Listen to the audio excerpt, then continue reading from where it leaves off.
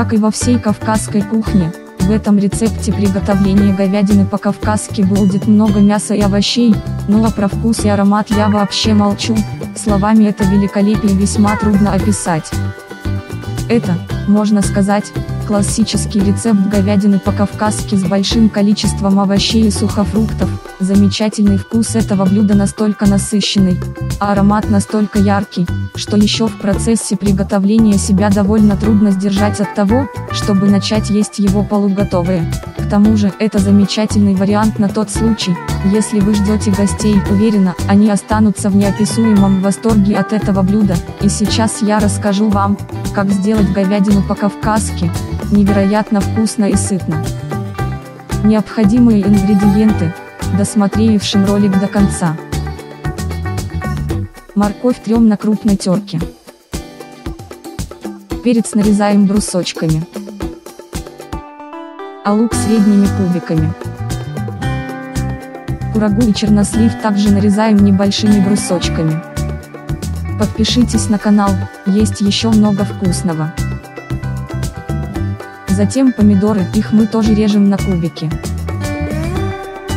В сковороде разогреваем масло и обжариваем на нем репчатый лук и нарезанный кольцами острый перец.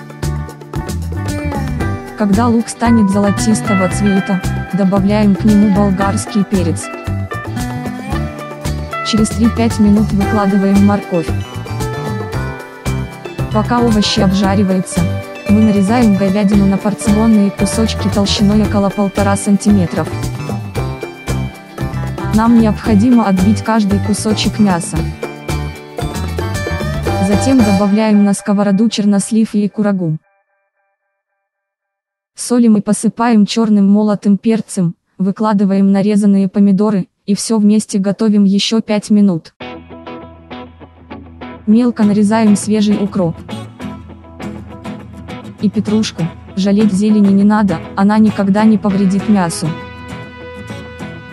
Противень застилаем фольгой и обильно посыпаем нарезанной зеленью, добавляем немного соли и специй и пару лавровых листочков. Раскладываем поверх зелени куски говядины. Наверх обжаренные овощи, а затем снова слой зелени.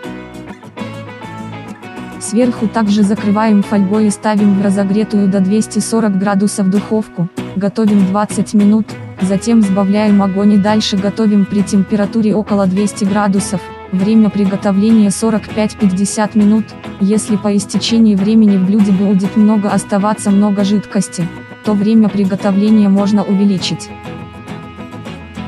Кто не подпишется, останется без следующих вкусностей.